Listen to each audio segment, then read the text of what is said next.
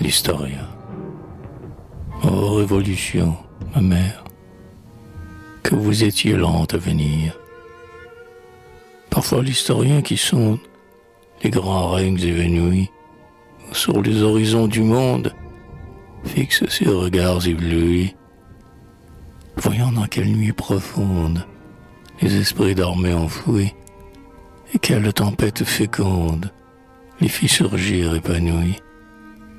Cet homme enthousiaste pleure, superbe, impatient de l'heure, l'ignorance doit périr.